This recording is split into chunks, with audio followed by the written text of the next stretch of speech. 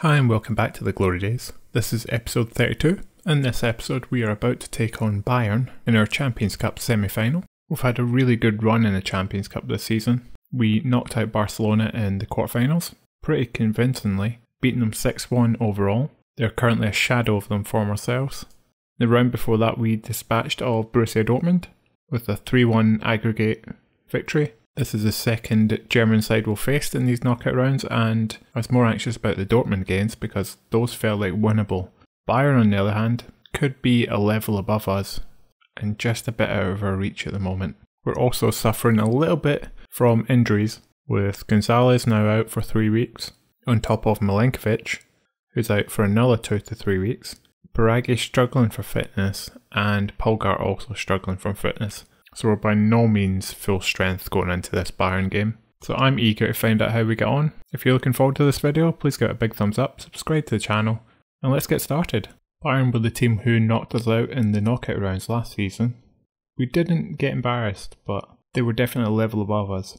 These two teams also met back in 2009-2010 in round of 16. Fiorentina won one leg 3-2, but were then beaten by Bayern 2-1. They also met back in 2008-2009, where that was a group stage. Fiorentina got a draw 1-1, but were also beaten 3-0 by Bayern quite conclusively. In that game, the goal scorers were Roberto, Schweinsteiger, and Klose. And Mutu was in the Fiorentina squad back then. You can see he were definitely a weakened team, and the squad that we're going to go with is Dragowski in goal, Igor, Todibo, Nefum and Odriozola, Koopmeiners, Castrovilli and Zaracho, Trincao, Origi and Vlahovic up front. Trincao is also struggling a little bit for fitness. We've got this first leg at home, so you can see our form's not exactly been at its best. We've got three wins, two draws. Bayern Munich also got two draws in their last five. But here we go, it's kicked off and fingers crossed for a much better showing than we had last time. We in the second leg we performed pretty well. We can see that actually Bayern's not having the best of games so far to begin with in these first 20 minutes, but they've got an opportunity here with Goretzka. Plays it Muller. Picked up by Trincao.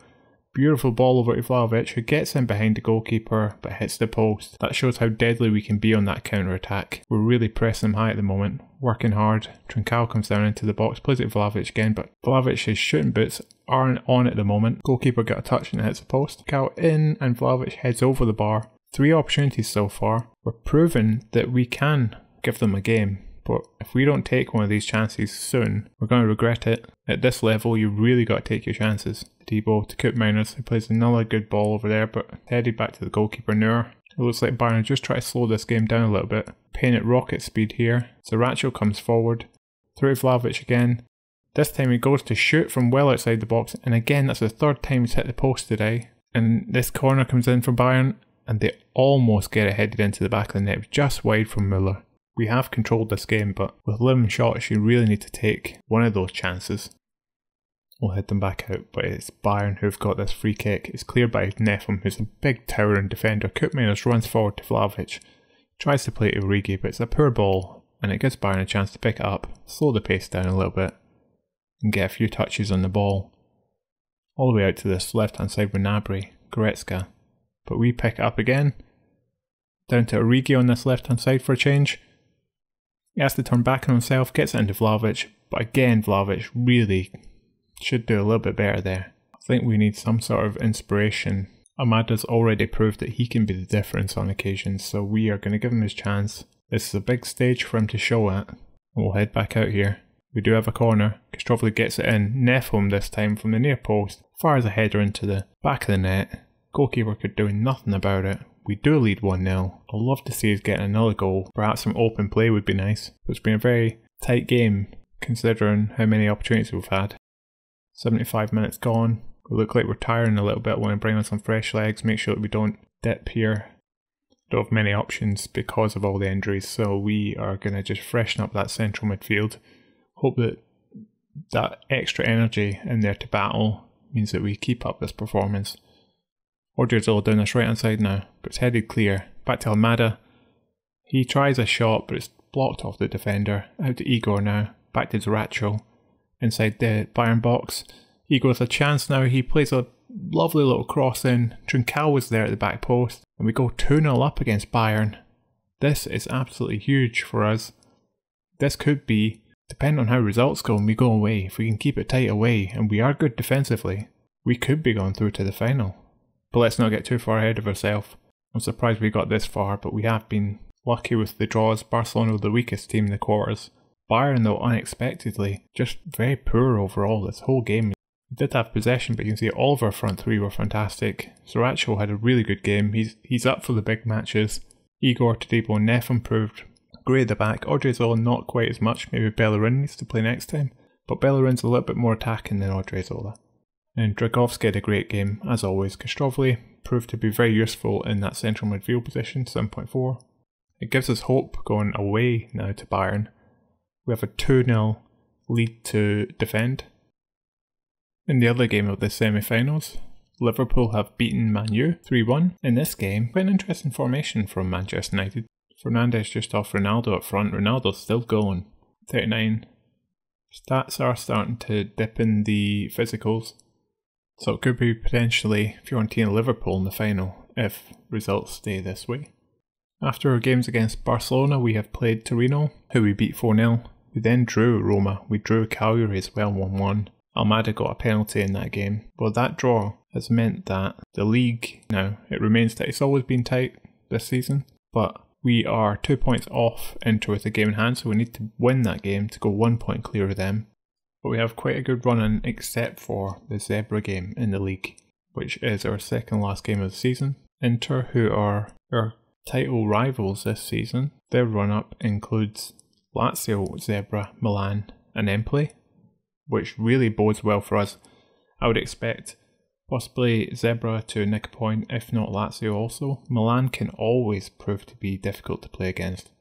We've had quite a good record against them, but not the rest of the top four. So I will play the Salernitana game, and then we'll come back for FC Bayern.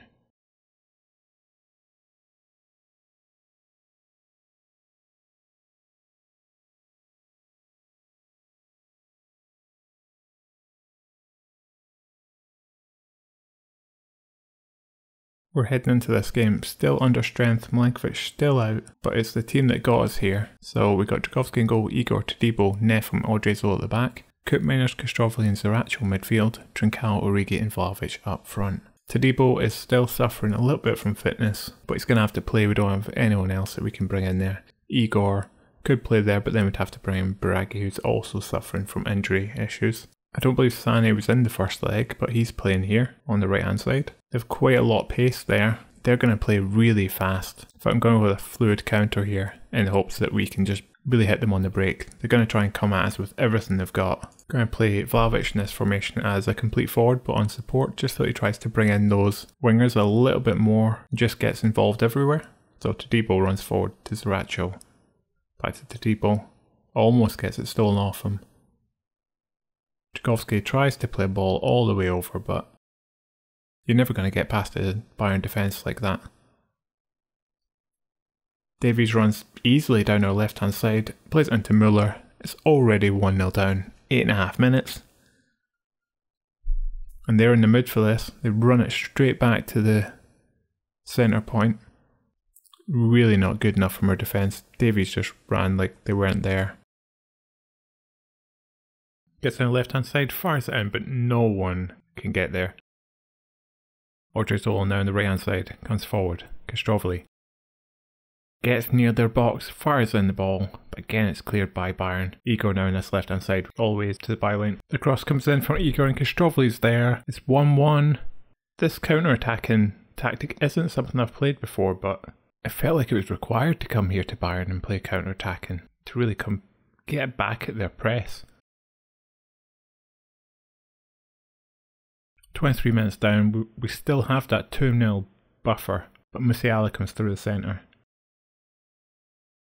He almost scores, but it hits the post. We have another chance here. Koopmeiners from a free kick. It's a header there that gets us 2 1 up again.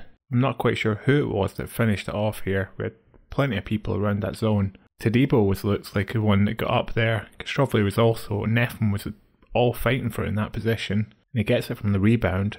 At halftime, you can see we actually started to control it at the point of that second goal.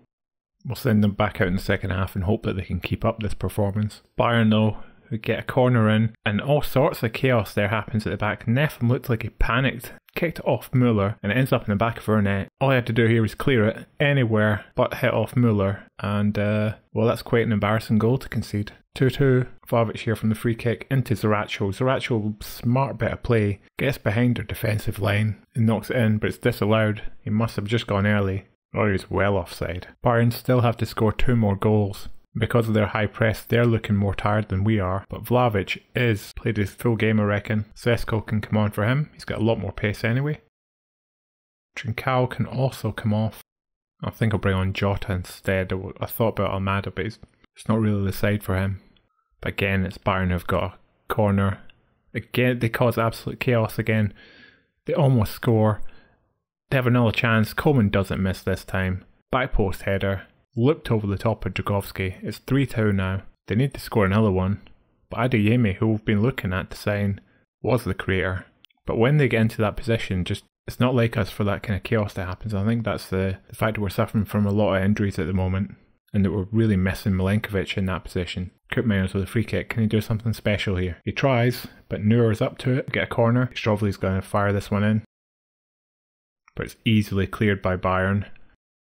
Koopmeiners free kick again into Nefum, but he can't do anything. Adeyemi's got a chance here to break on us. He does so. Comes forward. It's two on two if they get anyone there. Strovli's completely taken out Adeyemi. It's going to be a penalty. But Dragowski saves it. I really thought they were going to equalise there. I thought that was game over for us. Going to bring in some fresh fight in that central midfield.